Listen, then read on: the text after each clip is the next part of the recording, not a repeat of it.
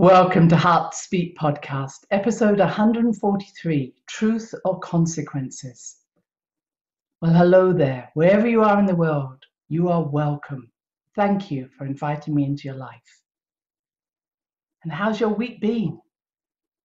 We are heading towards a strawberry full moon on June the 24th. And when I was reading about this, it reminded me of strawberries and cream, a Wimbledon tennis tradition and that this fortnight, the last week of June, beginning of July, used to always be seen as a rainy fortnight. We always used to say, ah, now we know why it's raining, because they're about to play tennis. Now, I know for you Brits, you've had enough of rain. So I'm wishing you a good strawberry fortnight where you have plenty of strawberries and cream and you get out and about, even though some of the restrictions are still in place. It also reminded me of going strawberry picking. So that when you would go into this place where you could pick your own, you would have your basket weighed at the beginning, basket weighed in the end, and you would pay for the strawberries that you'd actually put into your basket. What you didn't pay for was the ones that you put into your stomach. It was a good thing they didn't weigh us. And I remember when we would get home with these baskets of strawberries, we'd all say, Oh, I can't face another strawberry because we'd eaten so many. So I hope you are enjoying yourself, whether it's about strawberries or enjoying summer or enjoying your winter, wherever you are in the world. And this full moon that's coming up with a sun in Cancer, moon in Capricorn, really is talking about comfort and family and home. This is a very Cancerian energies. And opposite with the moon in Capricorn, Capricorn's all about integrity, wholeness, holding ourselves true to ourselves, being accountable. And so this is a time when we are going to see around the world much more accountability. You're saying, I hope so. because over the past two years, telling the truth has had consequences and not good consequences. And so, if you've been holding a truth in yourself, if you've been knowing something but be scared of speaking about it, I hope that you will be able to express yourself more fully now, feeling more confident in yourself, to follow your true path.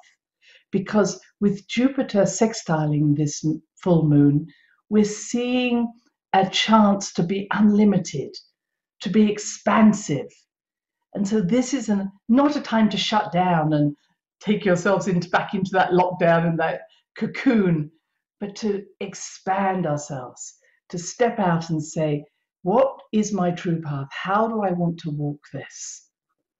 And allow ourselves to recognize ourselves truly as light beings who are having a physical experience. Now, before I go more into that, let's just finish off what's going on in the skies. So, as I say, Jupiter, even though it's now going retrograde, is still in Pisces. So, it's bringing us these unlimited opportunities, this being able to ride the waves of this new energy that's coming into the world. So, you might have noticed your dreams are more vivid, your ideas are more vivid, uh, you're getting more ideas and excitement about the possibilities out there for you. But at the same time, Jupiter in Pisces, and as I've explained, Jupiter went very fast through Aquarius and then into Pisces, which is the next sign. Now it's turning back and it's going to eventually in July go back into Aquarius again. But then it will go forward in October and go back into Pisces again. So, what does this all mean? What, what's she talking about? So, Jupiter in Aquarius is Jupiter is expansion, Aquarius is new technologies, new ideas in the line of community living. How do we come together in a better way? And so I love the idea that Jupiter in Aquarius, which we're going to see more of towards the end of this year, is going to say, how can we come together as community? And so people coming together to maybe just meet up or to have a farmer's market or to sell things or to gather together or as we're seeing, to stand together against authoritarian figures that really don't have authority over what we learn, what we, we want to eat, what we want to experience in our own bodies. So I am seeing groups coming together, uh, you know, grassroots groups, communities stepping up and saying, I'm sorry, we don't believe that the truth that you are telling us is in, in integrity to what is good for the community. And that's what we're really saying. Does the truth, again back to truth and consequences, does the truth that you're telling us actually have consequences that are going to be favorable for us all or only for the few? And that's really the crux of this podcast, why I thought about truth and consequences. Because if we're going to follow a truth and be honest, we need to also be accountable for the consequences of following that truth. And I believe that more and more of us are stepping out and saying, actually, your truth does not have consequences that I wish to follow. okay? That's a way of me saying this. And I love the fact that it's a really Aquarian way, and remember, Saturn is also in Aquarius, to actually say that everybody is accountable and everybody is self conscious and everybody has a voice. That is the Aquarian way. And Saturn is going to be in Aquarius, you know, for another year or two. So, really recognizing that this is not about restriction and only one person having a voice or only, I don't know, the board members having a voice. This is about, come on, step up, have a voice, be accountable for your voice, and let's all listen to everybody else's opinions and create as a community a collective future, something that is true and with consequences that are good for all of us. And that is not what's happening. We're seeing just at this moment small groups making choices for the majority. This is not the way forward, never will be, and never can be. And they're doing it by almost magical tricks. They're playing on people's fears, playing on people's shame, bringing up guilt, bringing up shame. I talked about this last time. This is not acceptable. So, those who are still playing magic games, which are very Piscean energy, those who are still believing that they are the leaders and everybody's going to follow them, I'm sorry, your time has come. Get ready to leave.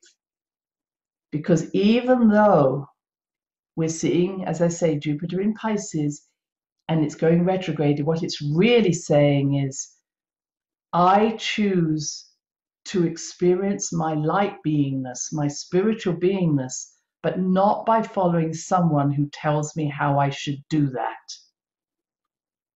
Those days are gone. Those days are over. Okay? So if you can remind me who I am, thank you. That's the Aquarian way. But if you're telling me I need to do this because you know the truth and I don't, sorry, not for going that way anymore. That's what's happening at this time. Everybody, everybody, it's not about people in a hierarchical leadership position. Everybody, I'll listen to anybody but I will follow my truth. And when someone can only get me to follow them through threats, through fear, through shame, through guilt, you are definitely not the person that I wish to follow. Now, you can hear me speak from my moon in Aquarius. I am always the person who says, I don't care what you are telling me I should or shouldn't do through fear, because as an Aquarian energy, I'm pretty detached from that emotional power games. Thank goodness, because in other areas of my astrology chart, I can get very pulled into that. But my moon in Aquarius is my saving grace to say, actually, I don't respond to power games, emotional games, emotional uh, neediness. It's really not interesting to me. My moon is what nurtures me. Emotional power games don't nurture me. So when someone says, Oh, if you don't love me, I'll leave you, I'm sorry, my approach is going to be there's the door. Don't let it hit you as you leave. That's who I am. Maybe some of you also have Aquarian energy. But it's been my saving grace because other parts of me can get very involved with people and very involved with their emotional games. And I'm always the first person who will leave a room if someone is not being respectful. I remember being in a very large auditorium with some spiritual teacher who was very well known. And he came in late, which was disrespectful. He had been drinking, which was disrespectful if you're about to give a talk. He was drunk. And he then started to swear at us all. And he at one point said, You know, if you leave this auditorium before I finish, then you're a moron. I mean, he used a lot of swear words, which I won't use. And everybody sat in their seats, even though what he was doing was so abusive, because he was swearing and cursing at people in the audience. And I just got up and walked out. And everybody watched, like, how, how can she just walk out on something when she's being threatened? It was like, that doesn't have any power over me. And I remember the organizers of the meeting said, We knew you'd be the first one out. and, and it's never been my way to be really susceptible to such threats. And my parents always taught that nobody's better, nobody's worse. In other words, treat everybody as an equal. Never give anybody more authority, never give them less. Everybody's an equal. And that's how I see life. I see people as equal souls having their path journey, walking their path journey, helping each other. That's how we are. And so, this Aquarian energy, Saturn is in Aquarius, Jupiter's going to go back into Aquarius, and Pluto will be going into Aquarius much later on, is going to be the future. And what's happening now, there are people who are trying to grab the power, power grabbers they're trying to hold on to the old paradigm where they had control over people. And I think, as I've said before, they must have been amazed how they could bring the whole world to a standstill, almost the whole world. And everybody went into lockdown and everybody went into fear and everybody did what they were told to do. And they must have gone, my goodness, don't we have a lot of power over people? Well, can I just tell you, those times are finished. You may have felt that you had the power, but in the last 18 months, people are waking up, aren't we? Everybody is waking up. I'm watching people say, not I'm going to do it in a different way because these teachers are telling me. I'm hearing people speak from their hearts saying, This isn't working for me. This isn't the way I wish to live my life. And it comes to a place where something that I was listening to earlier in the week. It was from William Henry, and he was talking about back in 2002 at how he'd had the revelation that as we are developing our light body, as we are connecting more fully to our spirit being, as I've spoken about, connecting more fully to the fact that we are star beings, we have uh, our junk DNA is full of our knowledge of who we truly are. This is, he saw, an organic development, this new wave of light coming in. Through consequences, we are awakening. This is an organic awakening that is happening, a very healthy one. But he saw back in that time that there would be also the trickster who was trying to appear as they were bringing the same energy to us. We're awakening you into that space, but doing it inorganically. And I know I've heard other people speak about these two words, organic and inorganic. Inorganic is, in its purest terms, is moving towards transhumanism, biotechnology, really making out that we can replace this feeble physical body and physical mind and even the soul with a much higher technological body and mind. So you won't have to think, you won't have to feel, you won't have to have a physical body that could let you down. Hey, your physical body let you down. Let's replace it. Hey, your mind seems to get in the way. Let's replace that. Let's let's genetically engineer out any problems. Hey, your soul seems to just keep telling you to do different things. Let's just get rid of that. That is the inorganic way in which there are a group of individuals would like us to go in that direction. And if you remember my talk on ETs a couple of podcasts away, where we talked about the Greys, this is what the Greys did. The Greys engineered, genetically engineered out emotions, physical issues, soul issues. Like, oh, this soul, it just keeps getting in the way. And let's get rid of God because that seems to have some connection to that. And they became so robotic that they could no longer reproduce. And so, what they had been doing, and remember, they had been taking the DNA from humans so that they could literally feed themselves back into what we considered our natural selves, our organic selves. So please remember that when someone's saying, oh, climate change is caused by eating too much meat, or climate change is caused by having a car, or climate change is caused by you going out into the world and enjoying yourself, we need to shut all of that down please see that this is coming from organ inorganic mechanisms.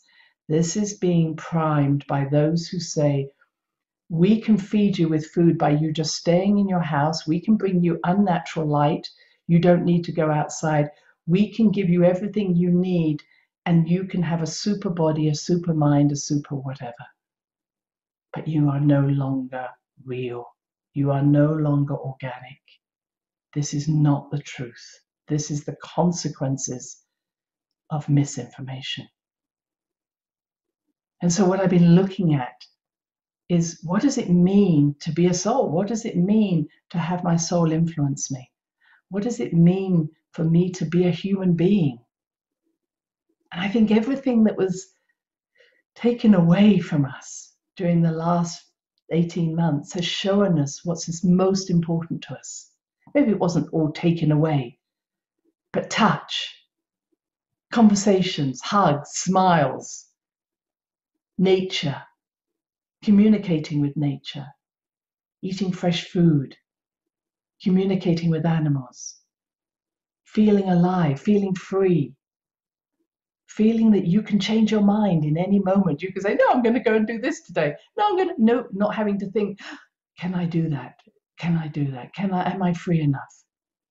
Maybe getting in your car and going somewhere, getting on your bike, going for a walk, but having that freedom to make choices, having the accessibility. And even though we've all appreciated the, the ability to communicate through the internet, there's nothing like a good hug. There's nothing like face to face contact. There's nothing like standing with someone or sitting at tea or dinner with them at a meeting that I might attend and having that conversation that just sparks us. We can do that, but that interaction is what makes us so human.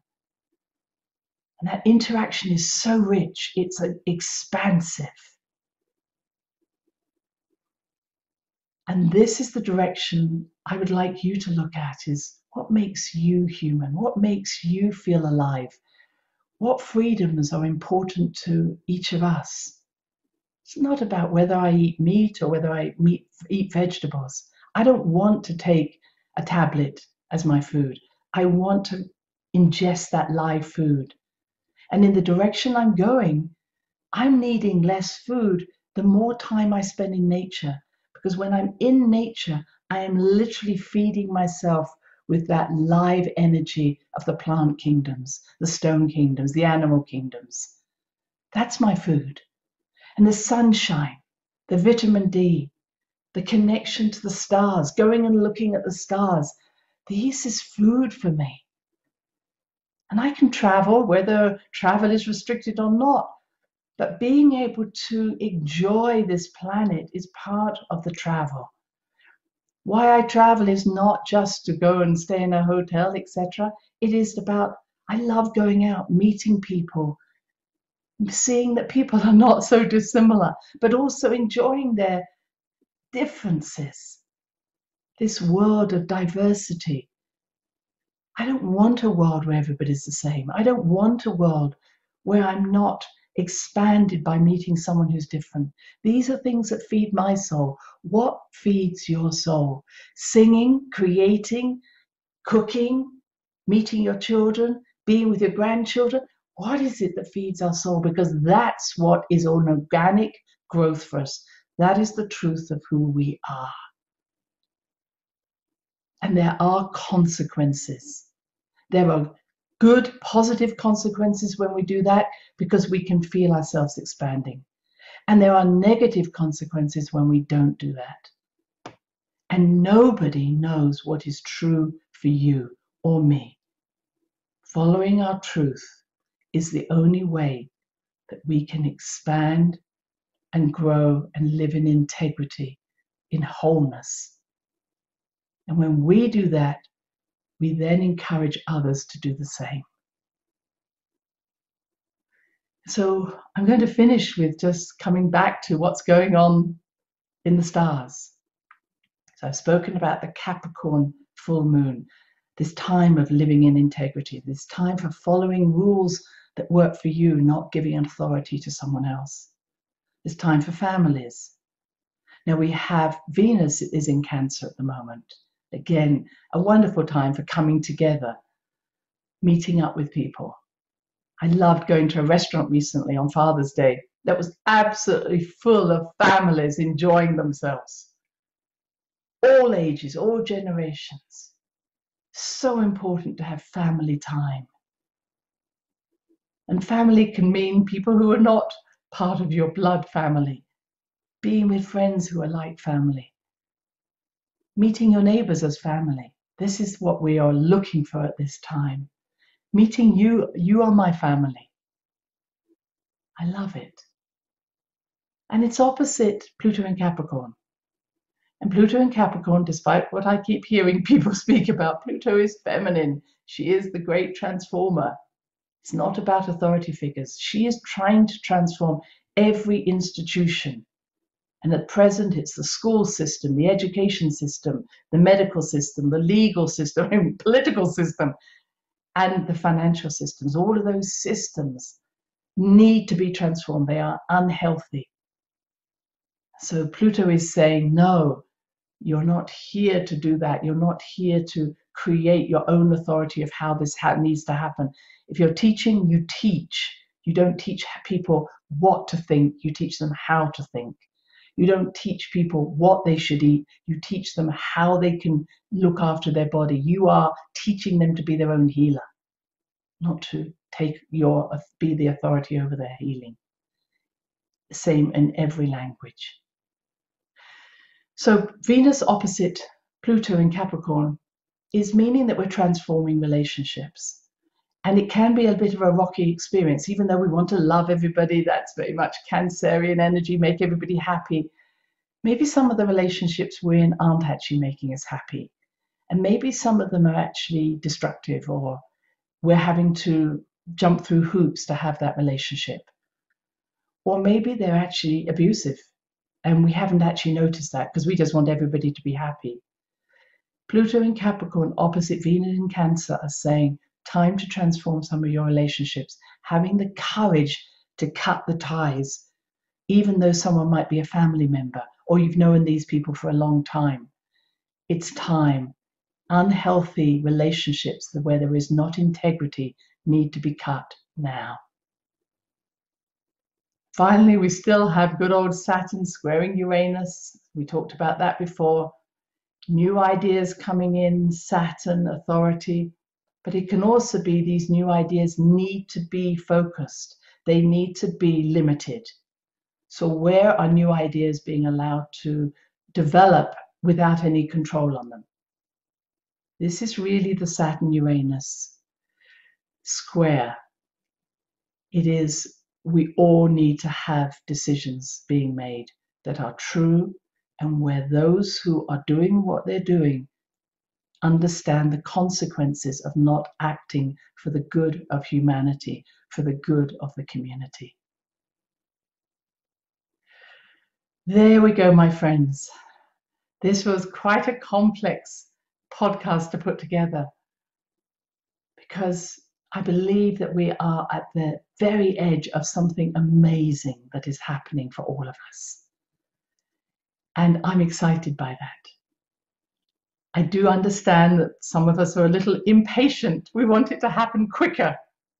What I keep hearing from my guidance is they they we don't want to just change things on a superficial level. The changes that are happening are huge. They are multifold.